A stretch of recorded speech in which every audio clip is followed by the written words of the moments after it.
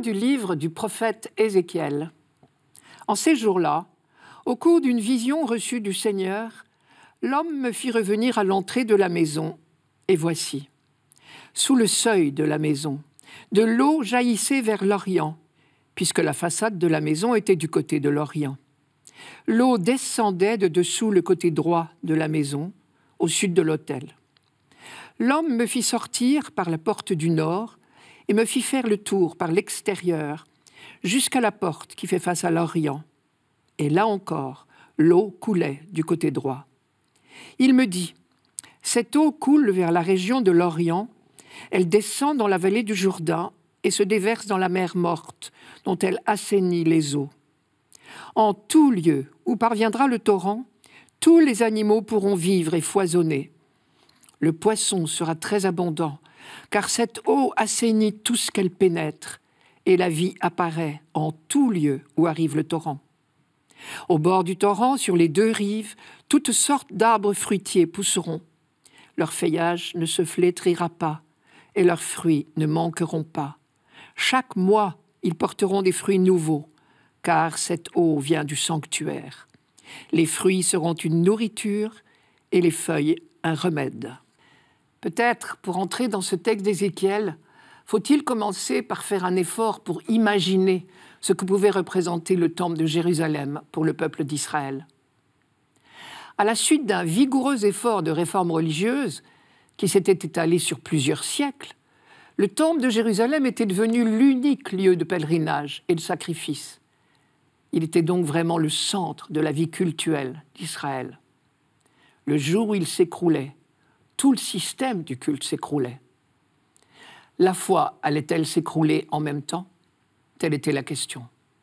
Or, le temple s'est écroulé avec l'entrée des armées Nabucodonosor à Jérusalem en 587 avant Jésus-Christ.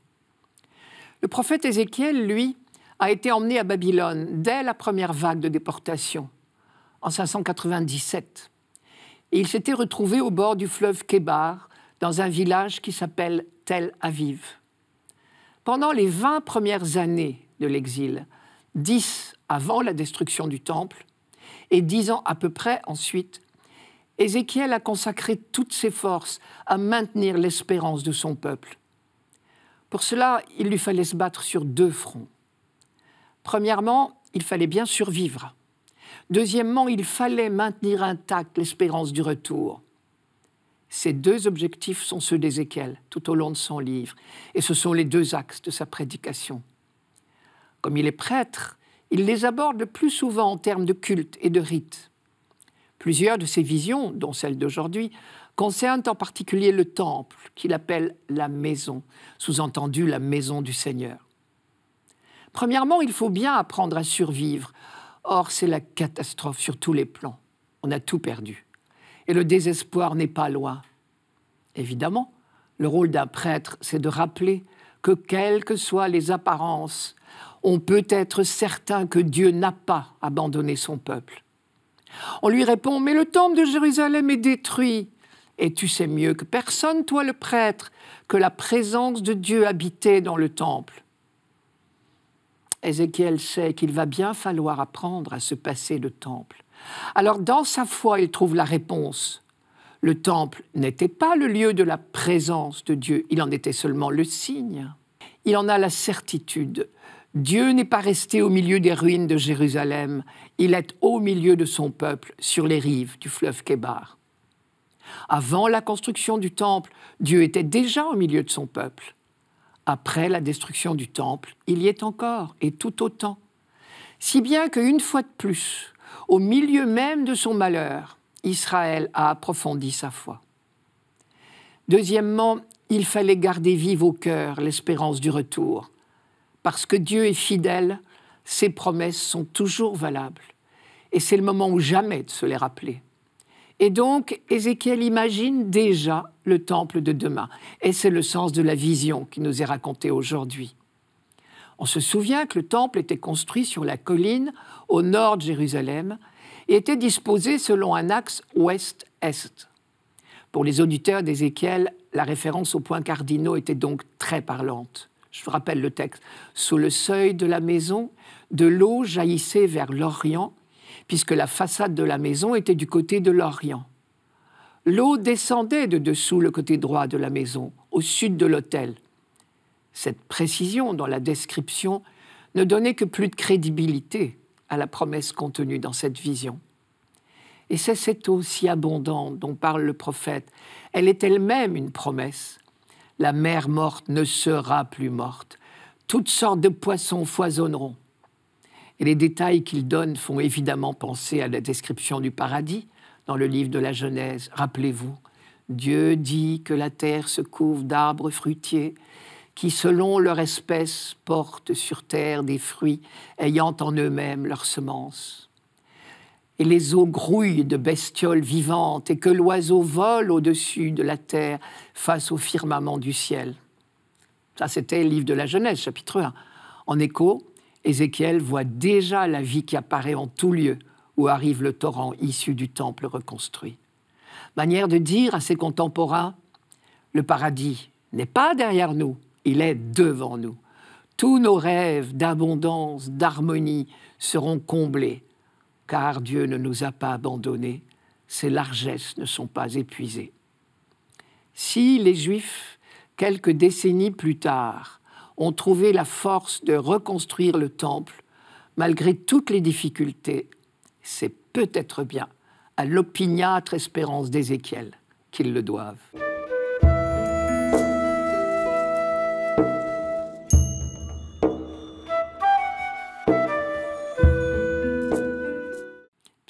45. Dieu est pour nous refuge et force, secours dans la détresse, toujours offert. Nous serons sans crainte si la terre est secouée, si les montagnes s'effondrent au creux de la mer. Le fleuve, ses bras réjouissent la ville de Dieu, la plus sainte des demeures du Très-Haut. Dieu s'y tient, elle est inébranlable.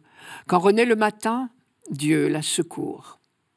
Il est avec nous, le Seigneur de l'univers, citadelle pour nous, le Dieu de Jacob. Venez, et voyez les actes du Seigneur, il détruit la guerre jusqu'au bout du monde. Si vous avez la curiosité de vous reporter à votre Bible, vous verrez que ce psaume 45 se présente comme un cantique. Il comporte trois strophes pardon, coupées par deux refrains. Il est avec nous le Seigneur de l'univers, citadelle pour nous, le Dieu de Jacob. Des trois strophes, la première dit la maîtrise de Dieu sur les éléments cosmiques, la terre, la mer, les montagnes. La seconde parle de Jérusalem, sans la nommer. Elle l'appelle la ville de Dieu, la plus sainte des demeures du Très-Haut. La troisième strophe, que nous n'avons malheureusement pas entendue ou presque, dit la maîtrise de Dieu sur les nations, ce qui en langage biblique veut dire tous les autres peuples sur toute la terre. Quant au refrain, il sonne comme un cri de victoire, presque un cri de guerre, je vous le rappelle. Il est avec nous le Seigneur de l'univers, citadelle pour nous, le Dieu de Jacob. D'autant plus que le nom donné à Dieu ici, qui a été traduit par Dieu de l'univers, mais en réalité en hébreu c'est le Seigneur Sabaoth, qui veut dire Dieu des armées.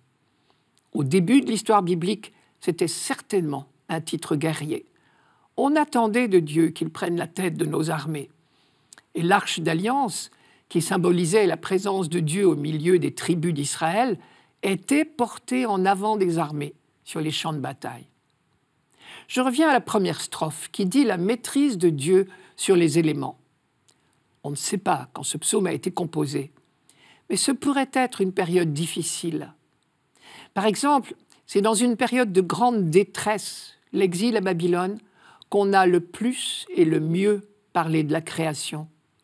Les exilés se réconfortaient par l'idée que le Dieu qui a su créer l'univers à partir de rien saurait également relever son peuple anéanti. Et de la même manière, dans le livre de Job, lorsque Dieu s'adresse à Job pour le réconforter, il lui rappelle longuement les merveilles de la création pour l'inviter à lui faire confiance. Quand on se sent très petit, on n'a pas d'autre force que la confiance dans la puissance et la bonté de Dieu. La deuxième strophe, celle du milieu, est plus surprenante. Le fleuve, ses bras réjouissent la ville de Dieu, la plus sainte des demeures du Très-Haut. Dieu s'y tient, elle est inébranlable. Quand renaît le matin, Dieu la secourt. Manifestement, il s'agit de Jérusalem. On sait l'amour du peuple d'Israël pour Jérusalem. Et donc, comme dans tout amour, on ne s'étonne pas d'entendre les formules hyperboliques pour parler de la ville qu'on appelle sainte, non pas à cause de ses vertus, mais tout simplement parce qu'elle est la ville de Dieu. Mais la surprise est dans l'évocation d'un fleuve. Il n'y a pas le moindre fleuve à Jérusalem, du moins rien qui mérite ce nom. Au contraire même, les rois ont dû faire des travaux considérables pour assurer l'approvisionnement en eau, qui dépend d'une unique source, celle de Kéron. La fameuse piscine de Siloé est là des nombreux aménagements dus à ces travaux à partir de la source de Guéron. Un peu plus loin, il y a une autre source, Aïn Rogel, mais elle non plus ne mérite pas le nom de fleuve. Cela ne veut pas dire que notre psalmiste a perdu la tête. Cela veut seulement dire qu'il pense à autre chose, il pense à plus tard. A-t-il en tête la prophétie d'Ézéchiel que nous lisons en première lecture, euh, cette fête de la dédicace? La description d'un fleuve immense et merveilleux qui irriguerait définitivement et miraculeusement toute la région jusqu'à la mer morte qui ne serait plus morte. On trouve une évocation analogue et qui ressemble très fort à notre psaume chez le prophète Joël. Je vous la donne. Le Seigneur rugit de Sion, de Jérusalem il donne de la voix. Alors les cieux et la terre sont ébranlés, mais le Seigneur est un abri pour son peuple un refuge pour les Israélites. Ce jour-là, une source jaillira de la maison du Seigneur, et elle arrosera la vallée des Acacias, qui est en Moab, entre parenthèses. Évocation reprise beaucoup plus tard par le prophète Zacharie, je vous la donne aussi. En ce jour-là, des eaux vives sortiront de Jérusalem, moitié vers la mer orientale, moitié vers la mer occidentale. Il en sera ainsi l'été comme l'hiver alors le Seigneur se montrera le roi de toute la terre. En ce jour-là, le Seigneur sera unique et son nom unique. C'est Zacharie chapitre 14. Elle est peut-être bien là la clé de ce psaume. Toutes ces hyperboles sont l'anticipation de ce que la Bible appelle le jour de Dieu, le jour de la victoire définitive de Dieu sur toutes les forces du mal. D'où la tonalité guerrière dans les refrains. Nous l'avons vu, mais aussi dans la dernière strophe. Je vous la donne maintenant. Venez et voyez les actes du Seigneur. Comme il couvre de ruines la terre, il détruit la guerre jusqu'au bout du monde. Il casse les arcs, brise les lances, incendie les chars. Il dit Arrêtez, sachez que je suis Dieu, je domine les nations, je domine la terre. Manière de dire Dieu fait la guerre à la guerre la domination de Dieu, ce que nous appelons le règne de Dieu, sera enfin instauré sur toute la terre, sur tous les peuples et surtout, surtout on verra la fin de toutes les guerres. C'est le rêve que caresse Israël depuis que sa cité sainte s'appelle Jérusalem, ce qui veut dire ville de la paix.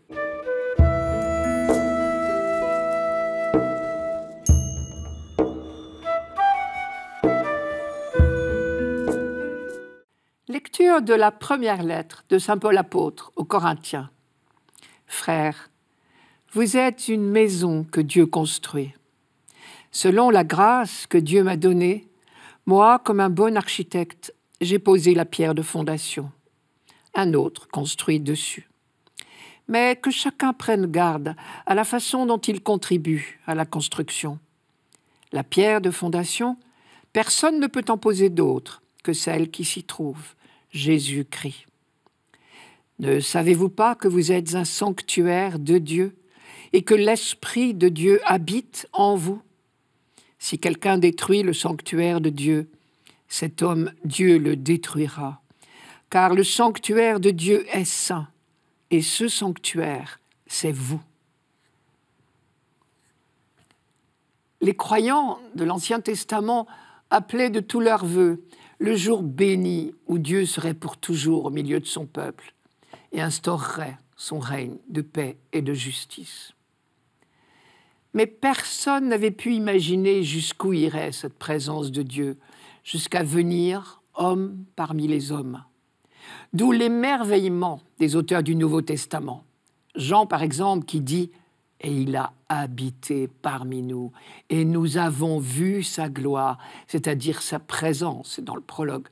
Ou encore, ce qui était dès le commencement, ce que nous avons entendu, ce que nous avons vu de nos yeux, ce que nous avons contemplé et que nos mains ont touché du Verbe de vie, nous vous l'annonçons. C'est dans la première de Jean chapitre 1. Saint Paul fait partie de ceux qui relisent inlassablement l'Ancien Testament pour y découvrir comment ce mystère de l'incarnation y est enraciné. Pour lui, il est évident que Jésus est celui vers qui tout convergeait dès l'origine. Pour lui, Jésus-Christ est vraiment, et depuis toujours, le centre du projet de Dieu. Ce projet que Dieu avait d'avance arrêté en lui-même, comme il le décrit dans la lettre aux Éphésiens. Dieu a longuement, patiemment préparé son peuple. Et quand les temps furent accomplis, il a mis à exécution son projet. Le signe de sa présence au milieu de son peuple n'a plus été un lieu, Jérusalem, et une construction de bois doré ou de pierre, le temple, mais un homme, Jésus de Nazareth, et à sa suite tous ceux qui ont été greffés sur lui par le baptême. Plusieurs scènes d'évangile expriment ce mystère, chacune à sa manière. Que ce soit la présentation de Jésus au temple chez Luc, ou la déchirure du voile du temple au moment de la mort du Christ chez les trois évangiles synoptiques, ou chez Jean l'épisode du coup de lance du soldat et de l'eau sortie du côté de Jésus, comme Ézéchiel la voyait sortir du temple nouveau. Ou enfin, et c'est l'évangile de cette fête de la dédicace, l'épisode de la purification du temple. Un épisode que les quatre évangiles rapportent, sans parler de la lettre aux Hébreux, dont c'est le thème majeur.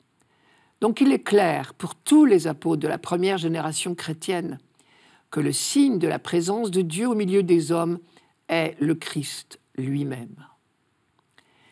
Mais une fois Jésus mort et ressuscité, et donc devenu invisible aux yeux des hommes, où est le signe de la présence de Dieu? Paul répond tout simplement En vous, mes frères. N'oubliez pas que vous êtes le temple de Dieu et que l'Esprit habite en vous, vous individuellement et vous collectivement. Car le texte que nous venons d'entendre doit être compris à ces deux niveaux, le niveau personnel et le niveau ecclésial. Au niveau ecclésial d'abord, Paul développe ce thème dans la lettre aux Éphésiens. Je cite vous avez été intégrés dans la construction qui a pour fondation les apôtres et les prophètes, et Jésus-Christ lui-même comme pierre maîtresse. C'est en lui que toute construction s'ajuste et s'élève pour former un temple saint dans le Seigneur. C'est en lui que vous aussi, vous êtes ensemble intégrés à la construction pour devenir une demeure de Dieu par l'Esprit. Éphésiens chapitre 2. Si la communauté chrétienne est le nouveau temple de Dieu, on voit l'importance de la qualité du signe qu'elle représente. Elle peut être pour ses contemporains un obstacle à la manifestation de Dieu, comme elle peut être le signe que Dieu attend. D'où la mise en garde de Paul, tout aussi utile pour nous aujourd'hui que pour les Corinthiens. Que chacun prenne garde à la façon dont il contribue à la construction. Et un peu plus loin, dans cette même lettre, Paul, précise quel doit être le critère de toutes nos actions, que tout se fasse pour l'édification commune.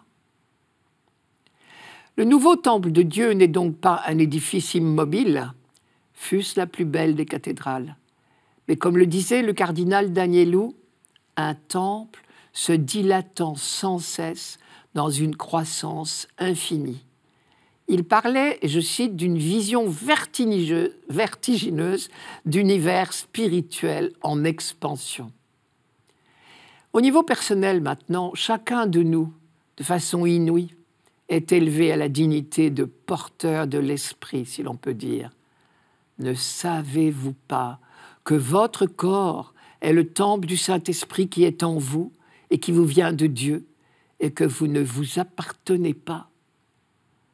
Le rite de l'onction avec le Saint-Crème lors du baptême, comme le rite de l'encensement du corps du défunt aux funérailles, traduit cette présence de l'Esprit dans un corps humain. Ce mystère est trop extraordinaire, trop beau, trop grave pour être méprisé. Alors Paul ajoute, Si quelqu'un détruit le temple de Dieu, Dieu le détruira, car le temple de Dieu est sacré, et ce temple, c'est vous.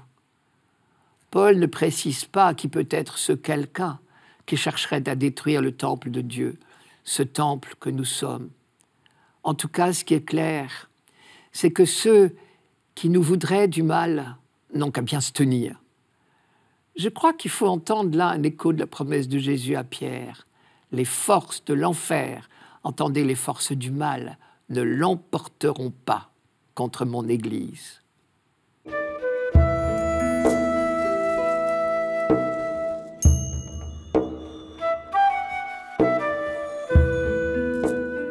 Évangile de Jésus-Christ selon Saint Jean. Comme la Pâque juive était proche, Jésus monta à Jérusalem. Dans le temple, il trouva installés les marchands de bœufs, de brebis et de colombes, et les changeurs. Il fit un fouet avec des cordes, et les chassa tous du temple, ainsi que les brebis et les bœufs. Il jeta par terre la monnaie des changeurs, renversa leur comptoir, et dit aux marchands de colombes Enlevez cela d'ici, cessez de faire de la maison de mon père une maison de commerce. Ses disciples se rappelèrent qu'il est écrit L'amour de ta maison fera mon tourment. Des Juifs l'interpellèrent. Quel signe peux-tu nous donner pour agir ainsi? Jésus leur répondit Détruisez ce sanctuaire, et en trois jours je le relèverai. Les Juifs lui répliquèrent Il a fallu quarante-six ans pour bâtir ce sanctuaire, et toi, en trois jours, tu le relèverais? Mais lui parlait du sanctuaire de son corps. Aussi, quand il se réveilla d'entre les morts, ses disciples se rappelèrent qu'il avait dit cela.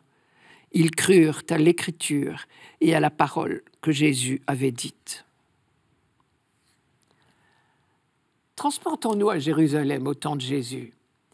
Qu'il y ait des marchands de bestiaux et des changeurs de monnaie dans les environs du temple, c'était bien normal et même indispensable. Quand on vient en pèlerinage à Jérusalem, parfois de très loin, on s'attend bien à trouver sur place des bêtes à acheter pour les offrir en sacrifice. Quant aux changeurs de monnaie, on en a besoin aussi. On est sous occupation ramène, et les pièces utilisées en ville sont frappées à l'effigie de l'empereur, mais du coup elles sont interdites au temple. Et donc, en arrivant au temple, on change ce qu'il faut de monnaie romaine contre de la monnaie juive. Mais ce qui choque Jésus, c'est que, au lieu de rester à l'extérieur du temple, peu à peu les marchands s'étaient rapprochés du temple au point de s'installer carrément sur l'esplanade dans la première cour. Entre parenthèses, j'ai trouvé cette explication dans les commentaires d'André Chouraki. Aux yeux de Jésus, on est donc en train de transformer insidieusement ce lieu de prière et d'étude des Écritures en maison de trafic, d'où sa colère, car on ne peut pas avoir deux maîtres, Dieu et l'argent. Il réagit exactement comme les prophètes. Le reproche qu'il fait aux vendeurs, ne faites pas de la maison de mon père une maison de commerce, rappelle une phrase de Jérémie, qui un jour de colère également avait lancé Cette maison sur laquelle mon nom a été proclamé, la prenez-vous donc pour une caverne de bandits? C'est Jérémie chapitre 7. Et le prophète Zacharie avait annoncé il n'y aura plus de marchands dans la maison du Seigneur le Tout-Puissant en ce jour-là, sous-entendu le jour de la venue du Messie. Face à lui, on réagit de deux manières différentes. D'un côté, il y a ses disciples, et de l'autre, ceux que Jean appelle les Juifs. En réalité, Juifs, ils le sont tous. Mais dans le langage de Jean, cela veut presque toujours dire opposant. Ses disciples, ceux qu'ils connaissent déjà, qui ont assisté au miracle de Cana, qui ont commencé à croire en lui, se souviennent du psaume 68 qui disait Le zèle de ta maison m'a dévoré. C'est la plainte d'un croyant qui est persécuté à cause de sa foi, Je cite Dieu d'Israël, c'est à cause de toi que je supporte l'insulte, que le déshonneur couvre mon visage, et que je suis un étranger pour mes frères, un inconnu pour les fils de ma mère. Oui, le zèle pour ta maison m'a dévoré. Ils t'insultent et leurs insultes retombent sur moi. Le psaume, lui, parle au passé. Le zèle pour ta maison m'a dévoré. Alors que Jésus reprend cette phrase, mais au futur, le zèle de ta maison me dévorera. Manière d'annoncer la persécution qui attend Jésus et qui commence déjà d'ailleurs. Nous sommes encore au tout début de l'évangile de Jean, mais le procès de Jésus est déjà esquissé. Les disciples donc reconnaissent dans l'attitude de Jésus un geste prophétique. En revanche, les autres, ceux que Jean appelle les Juifs, n'ont pas l'intention de s'en laisser remontrer. Ce prétendu prophète ne va pas leur faire la leçon. Ils exigent une explication. La réponse de Jésus ne peut pas les satisfaire. Détruisez ce temple et en trois jours je le relèverai. Pour l'instant, c'est le quiproquo total. Il a fallu 46 ans pour bâtir ce temple. Et toi, en trois jours, tu le relèverais. En bonne logique, on ne peut pas leur donner tort. Et encore, quand ils comptent 46 ans, les Juifs ne parlent pas de la construction du temple à partir de rien. Ils parlent seulement des travaux de restauration entrepris par Hérode. Ce temple magnifique, désormais respecté de tous, parce qu'il est le signe manifeste de la présence de Dieu au milieu de son peuple. Ce temple n'attend rien du charpentier de Nazareth. Avec son histoire de trois jours, il est un peu court. Oui, mais ce n'est pas avec notre bonne logique à nous que l'on peut prétendre aborder les mystères de Dieu. Les disciples non plus n'ont pas tout compris tout de suite. Mais ils ont certainement été alertés par le chiffre de trois jours. Car pour un juif habitué de l'écriture, trois jours, c'était un chiffre dont on parlait souvent. C'était habituellement le temps nécessaire pour se préparer à rencontrer Dieu. Alors tout s'est éclairé pour eux quand est venu ce troisième jour de la résurrection du Christ. Quand il ressuscita d'entre les morts, ses disciples se rappelèrent qu'il avait dit cela.